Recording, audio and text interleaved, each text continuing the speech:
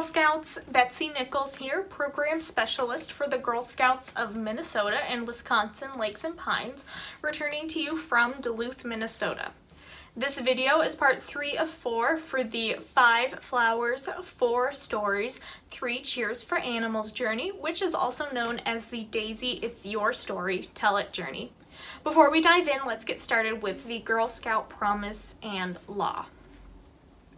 On my honor, I will try to serve God and my country, to help people at all times, and to live by the Girl Scout law.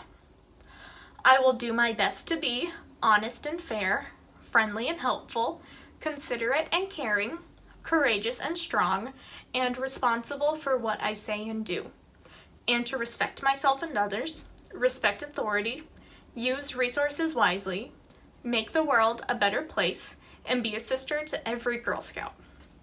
Great, so today we are going to take a quick look at the humble squirrel. So I have added a squirrel to my animal mural.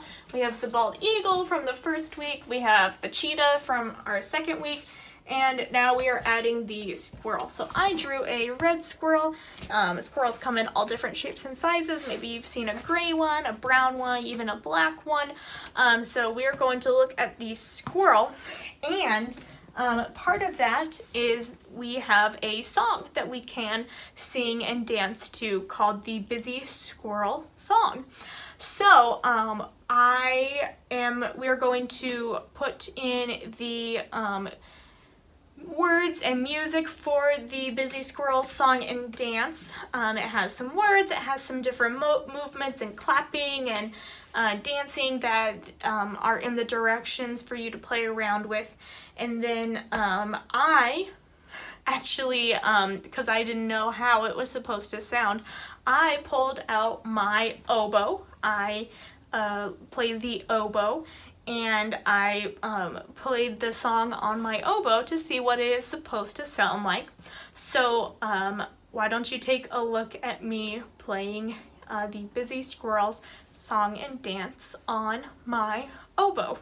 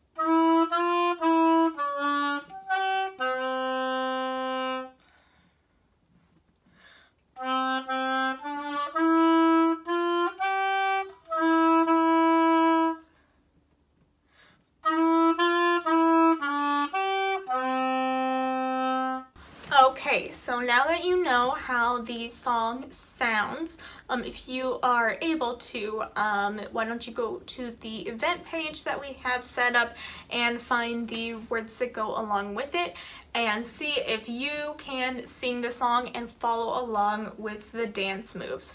Um, once you're comfortable with that, I have a challenge for you, which is to um, see if you can add on to the song. So maybe add on some more words and verses about squirrels. And then if you're feeling comfortable with that, then maybe you can rewrite the words to the song and write your own words to go along with the tune um, and maybe make it about a different animal. So maybe something about a bird or you could do a dog or any of the animals that we have already talked about um, in our previous weeks, like the bald eagle or the cheetah. So that is my challenge to you. And then the last thing that I'm going to show you is I have added a new item to my About Me nest. So um, we have the picture of me staying hydrated, we have my gloves that I wear when I ride my bike, and now I am adding uh, some embroidery floss. And so the reason why I'm adding embroidery floss is because it represents one of my hobbies.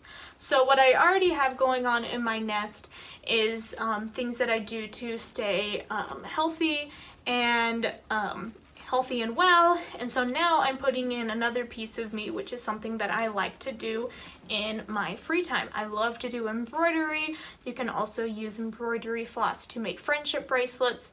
Um, so I really love um, being crafty and creative. So I am putting some embroidery floss in my About Me nest. And I want you to also um, put in something or uh, create a drawing of something that uh, represents a hobby of yours. So that is what I am going to leave you with. Let's close things out with make new friends and a friendship circle. So sing it with me. Make new friends, but keep the old. One is silver and the other's gold. A circle is round, it has no to be your friend. Bye, Girl Scouts.